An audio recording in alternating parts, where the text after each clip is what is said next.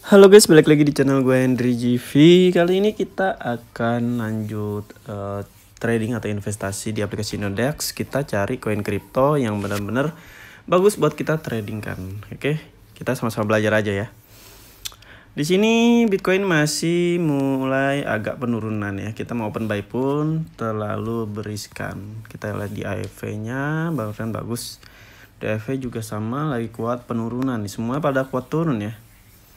Oke, ini lagi naik tapi belum tepat. Kita cari Cardano coba. Di Cardano ini lagi penurunan kuat ya, sama jadi kita open posisi uh, buy pun nggak bisa. Uh, kalau di Indodax itu dia itu cuman bisa satu arah guys open posisi buy. Beda cerita kalau di Binance. Kita lanjut lagi di Alice.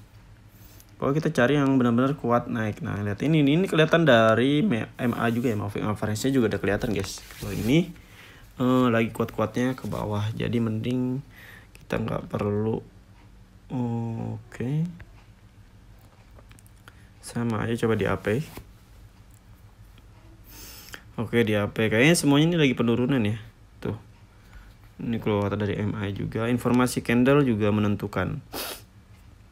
Kita coba di mana ya? BTS BCD pancake swap coba di pancake web. Di sini belum ada tanda-tanda. Dia kita zoom out deh. Tuh kuat banget kan ke bawah. Belum ada tuh tanda-tanda dia mau uptrend atau kenaikan yang kuat ya. Di sini ada fitur baru nih ternyata. Eh, kita lihat dulu. Selo coba selo. Ya cel ya. Aku kira Celsius. Cilis cilis. Cilis juga sama aja ya. Marketnya sama semua nih kita cari yang lain dulu deh. Oke kita cobain B. Di Binance di sini ada sinyal nih guys ya. Meskipun moving average-nya masih jauh ya tapi di sini ada sinyal nih. Terus setelah sinyal support ini oke kita buy di sini dulu. Nanti gue ceritain. Kita buy jadi market order. Ini berapa ya? Uh, tiga dua aja okay. market order. 32.000 Mah. Dulu. Guys. Salah nih salah salah. Kita harus ini guys. Nah di sini nih. Kita buy Oke, di sini alasan kenapa gua mau open posisi di Binance ya, sedangkan market kriptonya ini lagi penurunan. Aduh. Tuh, di satu harinya ya. Pertama, market emang lagi ada penurunan. Tuh, kalau kita zoom out. Tapi di sini gue pakai teknik scalping. Nah, jadi gini guys, ketika kalian lagi penurunan market, market itu nggak selamanya bakal turun ke bawah, pasti ada aja candle hijau. Nah, ini yang kita manfaatkan. Contoh seperti ini guys, ini turun, turun ke bawah. Nah ini nggak mungkin turun terus dong, pasti ada candle hijau. Nah muncul kan candle hijau. Kalau kalian open posisi buy di sini, kalian udah profit. Begitu. Nah makanya yang kedua itu gue ngelihat ada sinyal atau sinyal kenaikan yang kuat support ya. Lihat candle dua ini, dulu kita zoom zoom dulu. Nah, candle merah dan hijau ini yang berwarna beda ini arahnya sama kuat ke atas. Kenapa gue bilang sama? Bodinya kecil banget, informasinya juga kuat atau lemah. Eh maksudnya kuat ke atas, lemah untuk ke bawah. Si candle merah ini ya, bodinya ya. Nah terus muncul candle hijau yang sempurna. Kekuatan sumbunya lebih panjang di atas, body lebih kuat, bisa ngebentuk sinyal kenaikan kuat support. Di sini muncul candle merah. Kenapa sih bang? Karena konfirmasi yang sebelum-sebelumnya serta ini mengalami penurunan. Gak apa-apa, ini candle merahnya pelemahan. Yang berarti masih ada kesempatan untuk dia naik ke atas. Itu, itu di satu harinya loh. Di sini pun kita lihat ya area resistennya juga masih sedikit jauh, masih ada harapan. Kita lihat coba di uh, tadi tiga hari berarti satu minggu. Tiga, uh, tiga hari coba kita lihat tiga harinya. Di tiga hari emang downtrend tapi di sini malah searah sama satu harinya. Kenapa gue bilang searah? Di sini muncul candle support yang sempurna, sangat sempurna sinyal kuat kenaikan ke atas. Apalagi muncul candle merah ini. Meskipun candle hijaunya lagi berjalan ya guys, belum membuktikan bahwa dia akan jadi seperti ini. Tapi nggak apa-apa, karena di satu harinya udah ketahuan di situ. Nah dari informasi candlenya tuh udah pasti guys, dia bakalan naik ke atas. Ibaratnya udah kuat. Ya meskipun nggak harus kuat-kuat ke atas banget, seenggaknya dia ke atas dulu sementara baru lalu ke bawah. Nah kita ngandelin kayak gitu. Kita lihat di satu minggunya tapi di satu tiga harinya ini emang kalau kita zoom out tuh penurunannya kuat banget guys. Kita coba di satu minggunya.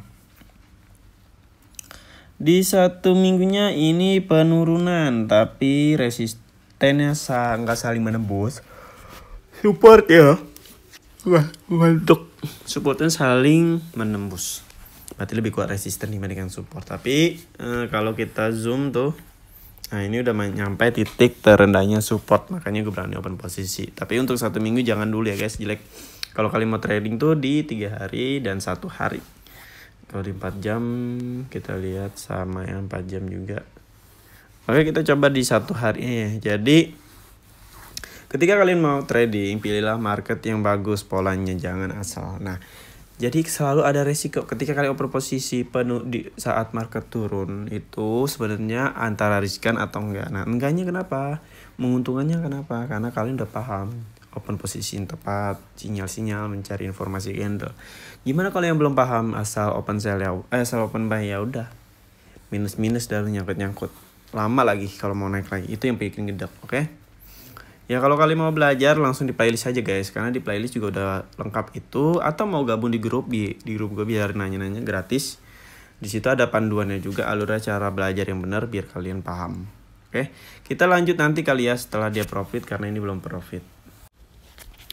Oke guys, kita lanjut lagi. Apakah kita udah profit nih trading di aplikasi Indodax ya, khususnya crypto Binance nih, BNB ya. Lihat tuh.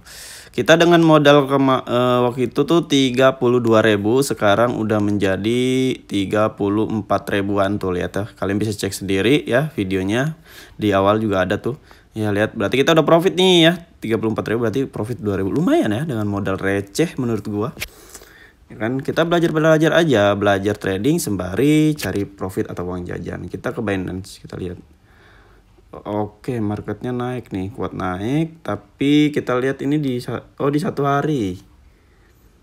Aduh, dia udah turun duluan. Gue tuh pengen nyari kayak uh, kita lihat di satu minggunya itu resisten dekat. Wah, di sini udah menyentuh resisten nih guys. Kita buy aja ya, kita buy semuanya. Di sini limit ordernya jadi market order 100%. Oke. Eh buy maksud sell guys, sorry sorry sorry di sini sell kita sell menjadi market order 100% kita sell kita jual ya kita tutup. Oke udah sukses ya. Dan lalu kita coba baca arah marketnya di guys ya. Kenapa gue pilih jual? Kalau dari satu jamnya ini eh, ada kemungkinan dia masih mau naik tapi eh, ya ada ada. Tapi nggak terlalu eh, tinggi untuk kenaikannya.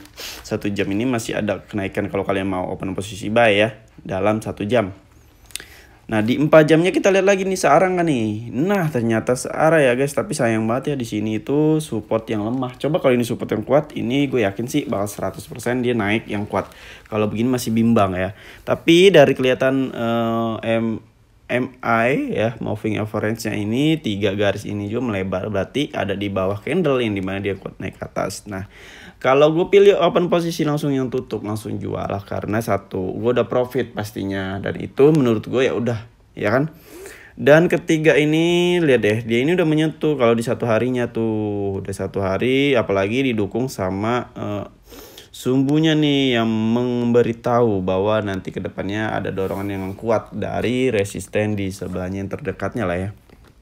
Jadi gue nggak mau ngambil resiko. Uh, beda cerita kalau kalian mau open posisi dalam waktu sejam itu nggak apa-apa ya nggak apa-apa tapi kalau gue ini kan satu hari nih berarti ini maksimal satu hari berarti kalau gue ibaratnya nggak tutup open pos nggak tutup nggak jual takutnya besok besok dia udah turun lagi bahaya guys ya mending gue jual aja dulu nanti kita open posisi lagi ketika uh, emang marketnya udah sesuai sama perkiraan gue Dari informasi candle, gimana guys? Dari informasi candle ya ini masih kuat ke atas guys kalau kalian mau ngasih tahu. Itu Binance ya. Tuh. Di satu jamnya, empat jamnya kita lihat lagi.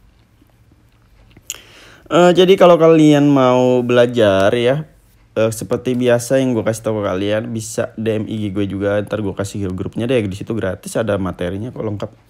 Nah di sini satu harinya candlenya sih bagus bagus sih lumayan ya empat jamnya juga. Satu harinya ini guys bagus naik ke atas. Tapi guys uh, di sini dia malah uh, ada resisten di sebelahnya ini no. Ngeri kan? Banyak banget lagi takutnya takutnya uh, dia itu bakal ke bawah tuh belum tahu nih dia mau ke bawah sampai mana ya ketika ada yang dorong resisten di sebelahnya. Jadi kita pilih tutup open posisi. Oke. Mungkin cukup sampai sini aja dulu kali ya. Karena kita udah profit juga. Jadi kalau kalian ada pertanyaan bisa DM gue atau bisa di kolom komentar video ini. Terima kasih juga yang udah nonton. Sampai jumpa lagi di next video.